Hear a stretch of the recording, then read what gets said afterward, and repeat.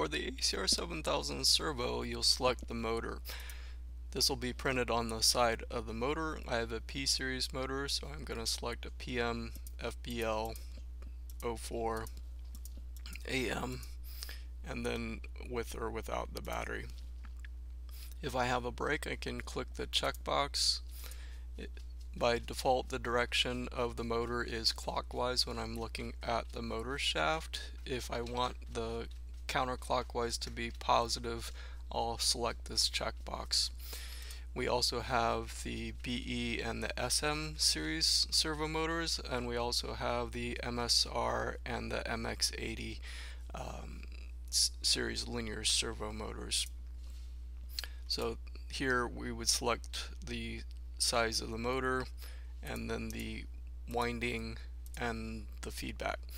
If you have a custom linear servo motor stage, such as an 802 or an 804 part number, you'll need to contact your local distributor in terms of what it actually is. If it's a, a custom version of a standard motor, what that standard motor part number will be.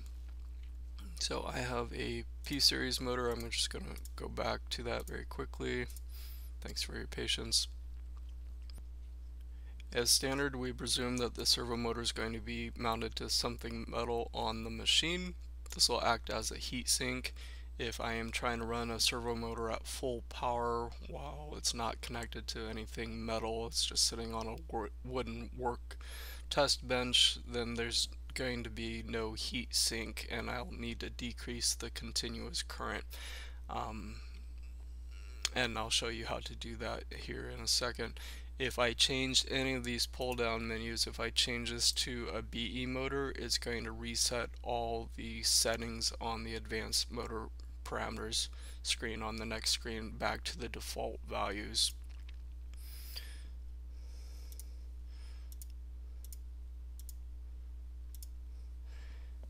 And note too, if the servo motor is an incremental encoder on axis 0. Axis 1 will also need to be an incremental encoder servo motor.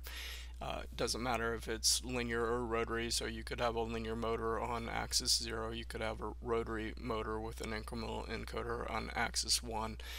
Um, this is because the amplifier board only supports the same feedback on the motors. Now, I have a P-series servo motor which has a BiSS-C absolute encoder built into it on axis 0 so axis 1 would also need to be a uh, BiSS-C based servo motor um, as well. And the system will warn you in the configuration wizard uh, when you get to the um, finished screen there will be an error if those don't match. And if I click the show advanced motor parameters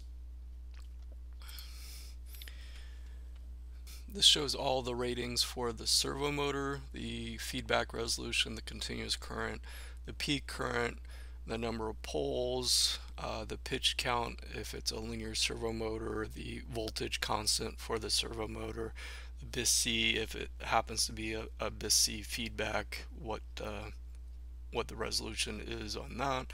And then if I selected a um, brake motor, it'll add a 50 millisecond delay on that um, when we enable and disable. And then if I want to edit any of these, click the checkbox. On the screen, really, um, the continuous current, if you needed to uh, run the motor with no heat sink, if uh, you were trying to run it at full current, I would decrease the continuous current rating by 20%. That should be good. And then um, if the only other item would be the uh, motor ambient temperature if you have a servo motor installed in a higher ambient temperature we need to change this uh, in Celsius so no, we know what the starting temperature of the servo motor is so we don't uh, overcurrent the motor. Okay. Thanks